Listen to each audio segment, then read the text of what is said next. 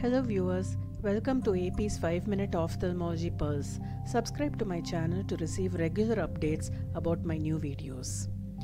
Many are intimidated by the concept of astigmatism. However, it is easy to understand with the help of a couple of diagrams and three easy steps.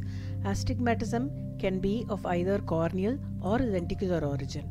As corneal astigmatism is much more common, today we will try to understand astigmatism with the help of corneal astigmatism as an example. The purple line represents the vertical meridian of the cornea and the pink line the horizontal meridian. Rays from both vertical and horizontal meridians come to a focus on the retina. So this is a spherical cornea and the eye is emmetropic that is there is no refractive error. Here rays from both vertical and horizontal meridians focus at the same point but in front of the retina. So this is a myopia. Here again both meridians focus at the same point but behind the retina. So this is a hypermetropia. However, what is happening here? Both meridians come to a focus at different points. This is called astigmatism.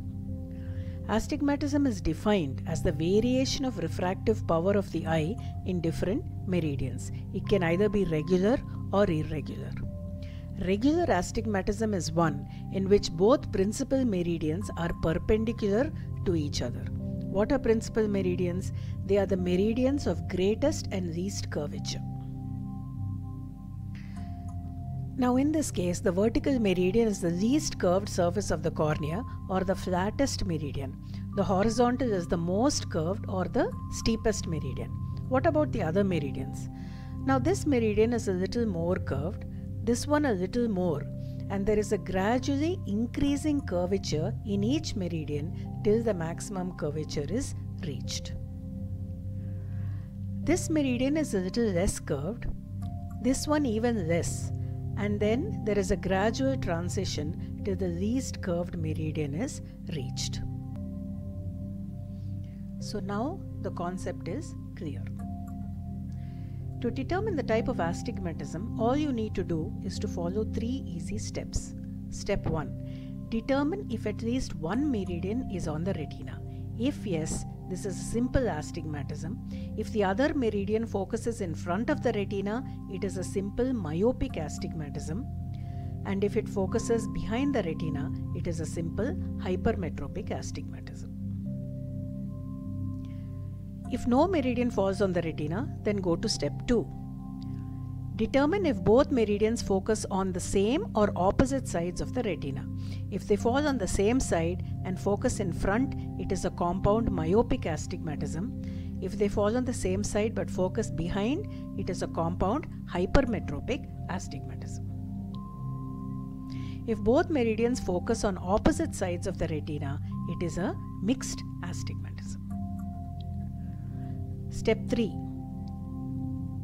Determine which meridian is more curved. Here the vertical meridian is more curved. This is also referred to as the steeper meridian or more myopic meridian because a more curved meridian will uh, focus earlier than a curved one. So this is with the rule astigmatism. Here the horizontal meridian is more curved or more myopic so this is against the rule astigmatism.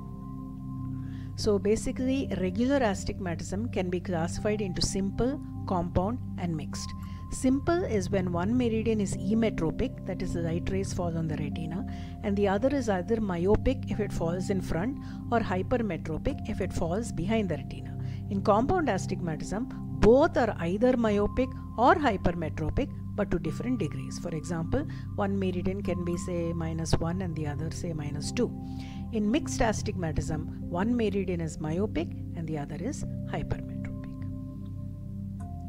Another way to understand this is a myopic astigmatism can either be simple or compound. Same case with hypermetropic astigmatism.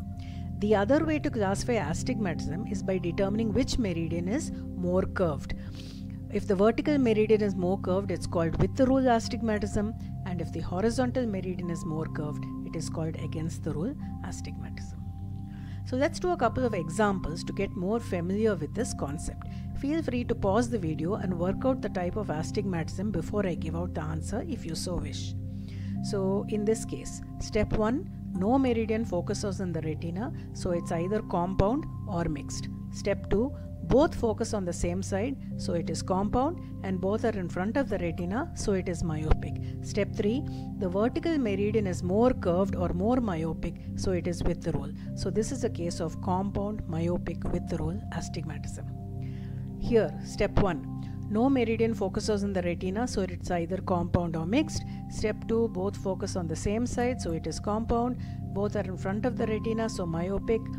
Step 3 the horizontal meridian is more myopic, so it is against the rule. So, this is a case of compound myopic against the rule astigmatism. Here, one meridian focuses on the retina, so it's simple astigmatism. The other focuses behind, so it is hypermetropic. The vertical meridian is more myopic, so it is with the rule. So this is a case of simple hypermetropic with the rule astigmatism.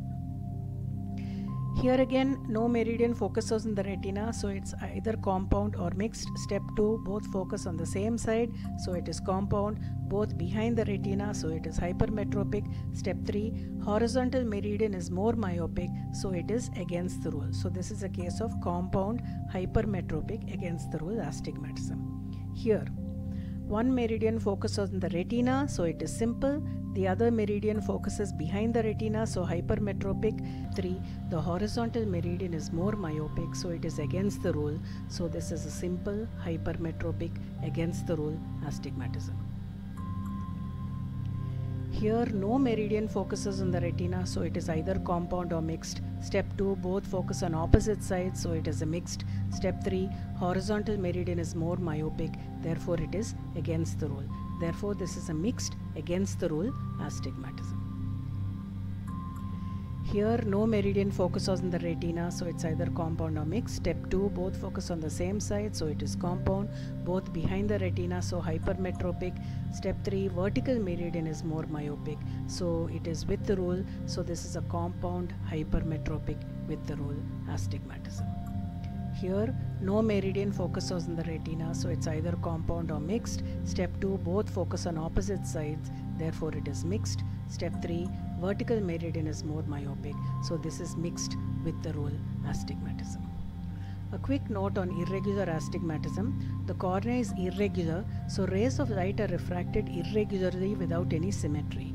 There are more than two principal meridians, each having a different place of focus. As you can see, the common causes of irregular astigmatism are given here. So that's it for today. If you like what you saw, subscribe to my channel and hit the bell icon to never miss an update from AP's 5 Minute Ophthalmology Pearls. You can watch my other videos by clicking on the thumbnails. Please leave a note in the comment section if you wish for any particular topic to be covered in future. Look forward to weekly updates. Thank you.